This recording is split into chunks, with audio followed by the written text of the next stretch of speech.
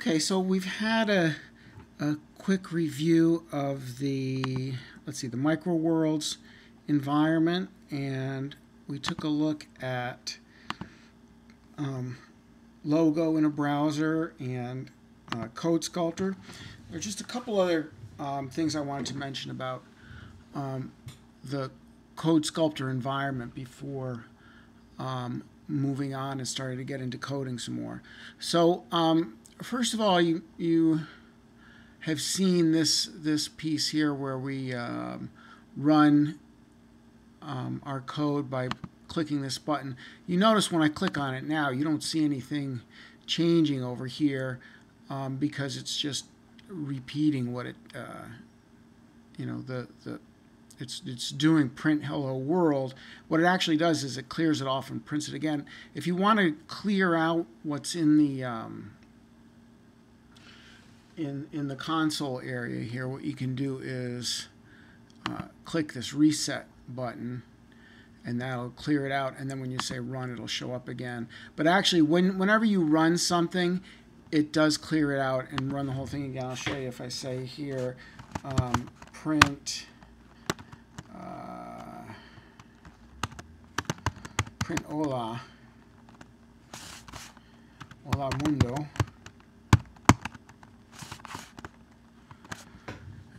and do that, then you see both of them come up. But um, the, the clearing up is an option. Um, and we'll get into some of these other buttons uh, in uh, later videos.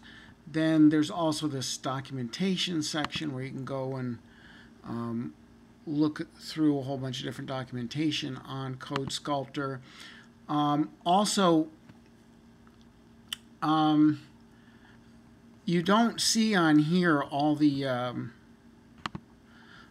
these kinds of uh, things that you have in MicroWorlds for like plopping a turtle on the screen and, and that kind of stuff. Um, but you can do, um, uh, you know, graphics and, and, and game building and stuff like that with um, CodeSkulptor just to show you a couple of things. Here's a, a draggable map magnifier. Um, if I run this, you can drag this map, uh, the magnifying glass around on the map. Or there's, um, get rid of this one, let's see. There's like a Tetris game here. It's got sound effects and everything. You can play it. Okay so you get the idea that there are there is real there are there there are real gaming stuff you can do. Um, it general in general it takes a lot more work to do stuff in um, uh, CodeSkulptor than it will in MicroWorlds, but you get a lot more control over what you're doing. Um, and oh, also there's um, another popular environment for coding in Python is called IDLE that you might have heard of, you might have worked with before.